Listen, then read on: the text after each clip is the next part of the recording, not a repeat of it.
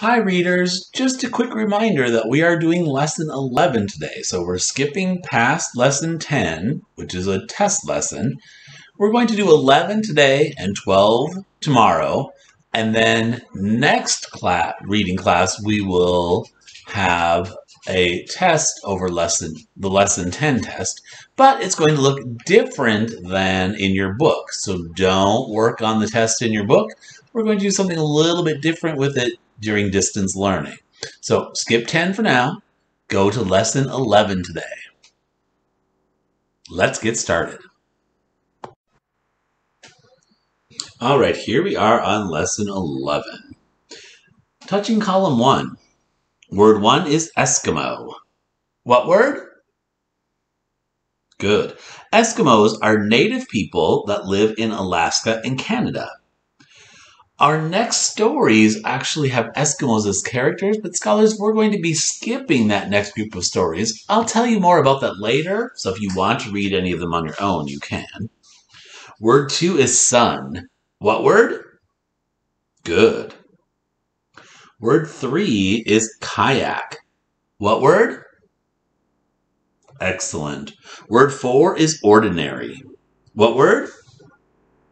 You got it. Word five is scientist. What word? Well done. Let's do column one the quick way. Back to the top. Here we go. Everybody ready with their pointer? Go. Eskimo, sun, kayak, ordinary, scientist. Let's go to column two. All of the words in column two are compound words. Remember, compound words are made from two words being put together to form a new word. So number one, any and more make any more. Number two, day and light make daylight. Number three, day and time make daytime. Number four, winter and time make winter time. And number five, rest and less make restless. Let's do column two the quick way. We're back at the top. Here we go. Anymore, daylight, daytime, wintertime, restless. Moving to column three. Column three, scholars, all the words in column three are months of the year. Let's read them. Ready? Word one is January. Word two is March. Word three is December. Word four is February. Let's do those four words the quick way. Back to the top. Ready? January, March, December, February. Column four. All the words in column four have endings. Be careful. Make sure you don't drop those endings. Word one is reaches. What word? Good. Word two is honking. What word? Yes. Word three is friends. What word? Got it. Word four is splashing. What word? Excellent. Word five is tilted. What word? Tilted. Right? Be careful, not titled, tilted. Column four the quick way. My finger's ready at the top. I'm waiting for you. Here we go. Reaches, honking, friends, splashing, tilted. Column five. Number one, those two words are Newman's Lake. What word? Good. Number two, 70. What word? Great. Word three is sir. Word four is constant. Word five is ignore. Word six is spear. Column five the quick way. Newman's Lake. 70. Sir. Constant. Ignore spear. Scholars, this is a good time to pause and practice any of the vocabulary words you're not sure of. Otherwise, we're going to move to part B in just a moment. So, part B, we're going to today be reading the next story about Henry and Tim, but first we have an information passage that's going to give us more facts about the Earth. Let's read the title of that together. Ready? The Tilt of the Earth. The Earth is tilted. The poles are not straight up and down. Instead, they tilt.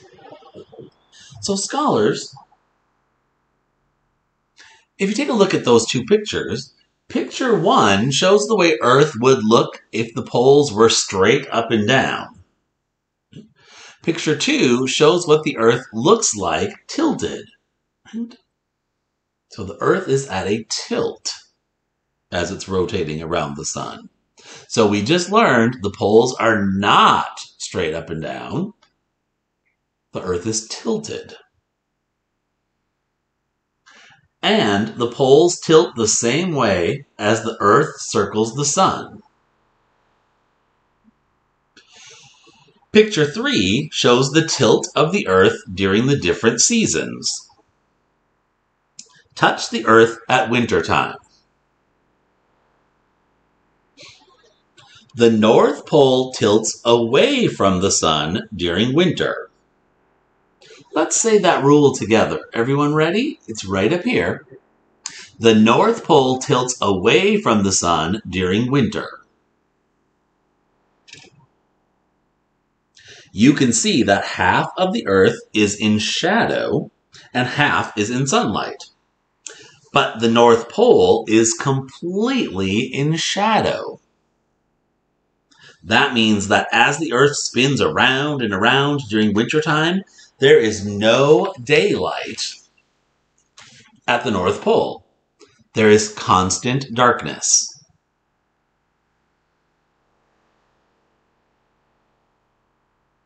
Touch the Earth at summertime.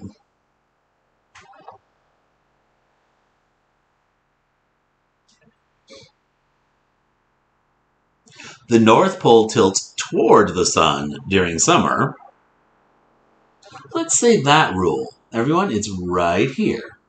Ready? The North Pole tilts toward the sun during summer. Half the Earth is in shadow and half is in sunlight. But the North Pole tilts toward the sun, so it is completely in sunlight. That means that at the North Pole during summer, there is no night. There is daylight all the time during summer. The sun never sets. Remember, if the pole tilts away from the sun, it's winter time at the pole, and there is no daylight. If the pole tilts toward the sun, it is summertime, and there is no night. Pause for a moment, scholars, and read our information passage aloud. Then we'll continue to today's story.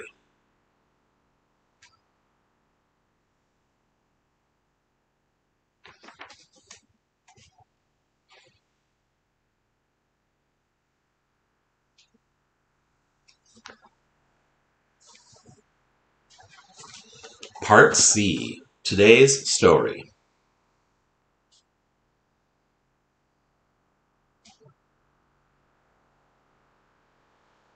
Ready? The flock reaches Florida. The next morning, before the flock took off, Henry tried out his wing. He took off from the field and flew around the lake. When he landed, Tim came up to him and said, I know what you were doing. You were trying to see if your wing is all right. Is it? It feels pretty good, Henry said with a smile. I can fly today. And he did. The leader of the flock honked out directions to the goose that would be at the point of the V. Then there were loud splashing and flapping sounds as more than 80 geese took off from Jackson Lake.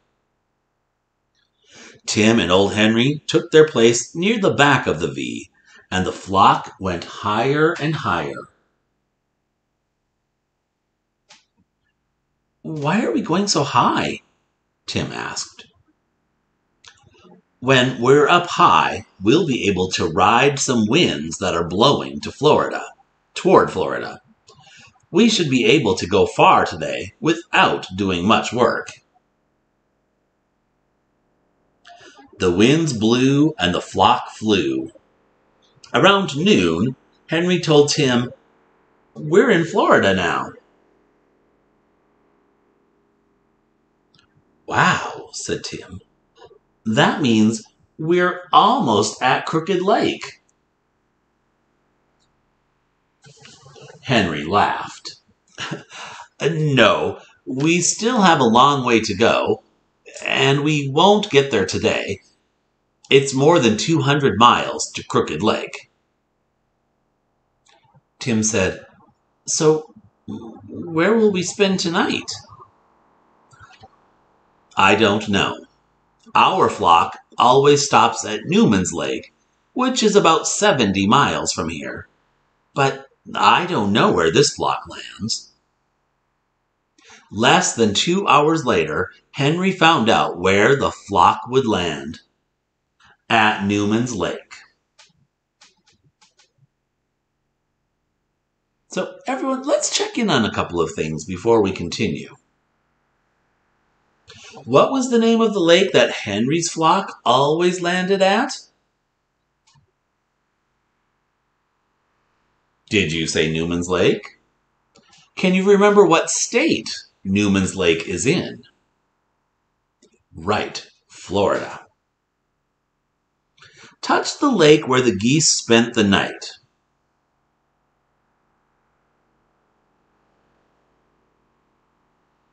Did you say Jackson Lake and point at it? Good job. Touch the lake where they're going to land.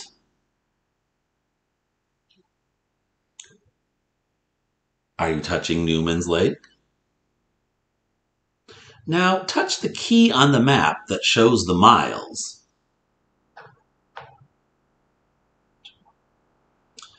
The, mi the key shows 100 miles. So scholars, if you use that key and kind of find maybe one of your fingers or thumb that's maybe about that size, and then you can try to use it to look at how far it is from Jackson Lake to Newman Lake, Newman's Lake. One, two, almost probably three of those. So about 300 miles between those lakes. And then you can see where Crooked Lake is. It's about 120 miles from Newman's Lake. Let's continue. There were lots and lots of geese around Newman's Lake. Tim said, It looks like all the geese in the world are right here. There are a lot of geese here, Henry said. But wait until you see how many geese there are near Crooked Lake. The flock circled Newman's Lake and landed near a shore that was covered with geese. Some of them were honking and showing off by flapping their wings. Others were napping. The leader of the flock swam over to old Henry and said, We're going to spend tomorrow resting here. Then we'll go to Reedy Lake the next day. Do you plan to fly with us? Henry flapped his wings and said, I do. I feel fine. Tim smiled and said, Me too. So, two days later, Tim and Henry were flying high above Crooked Lake. Henry told Tim, This is where we leave the flock. Our lake is right down there. Old Henry flew up near the front of the great V and called to the leader. Thank you, sir, Henry said. You're a fine leader, and you have a wonderful flock.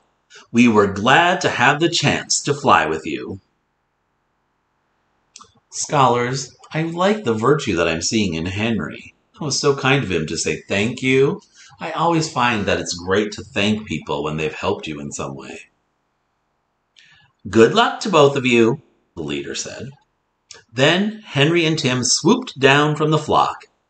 I can't wait to see my mom and dad, Tim said. Henry was also looking forward to seeing his old friends and his children and grandchildren.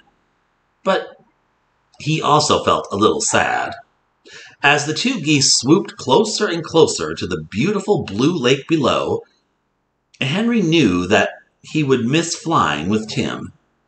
This trip was the first time in years that Henry felt that somebody really needed his help. That was a good feeling for Henry. And that, scholars, is the end of our story for today. So I want you to pause for a moment, read this story aloud, right, to someone in your family, to a pet in your family, to a favorite stuffy. Read it aloud so you're practicing the story. Pause while you're doing that, and then we'll talk for a minute about your assignment.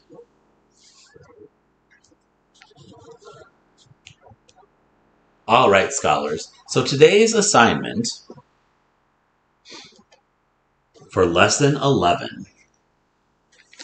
The theme of a story is the underlying message, the big idea of the story. The author is trying to share an idea about life that is important. And scholars, I think we have uh, a theme that runs throughout our stories about Henry and Tim is virtue, right? And I chose three specific virtues that I thought fit in with our theme of virtue in our story. And you'll notice that there's some things to write. Sorry, I'm going to let that fire truck go by. So I live near a fire department, so we're just going to let them sail on by.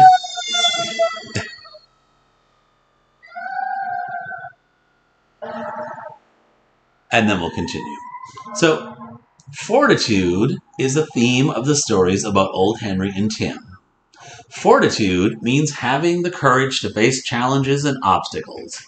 What is one example of fortitude in these stories? So here's the question, scholars, and it doesn't have to be just in today's story. Think of all we've been reading about Henry and Tim. Can you think of an example of fortitude? And I'm starting with a capital letter, and I'm going to use words from my question, right? One example